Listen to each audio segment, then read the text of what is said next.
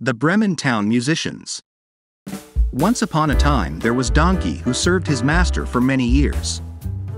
But when Donkey became old, not fit to work as he used to be, his master thought not to give him food anymore. Donkey became very disappointed and left his house. He traveled to Bremen to become town musician. Overall, he was very proud of the singing talent he had and thought it can be used for living in his old age. On the way he met an old dog who was crying.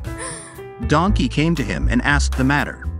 The dog replied that he became old and no longer can hunt. His master decided to kill him rather feeding him for free, so he ran for his life.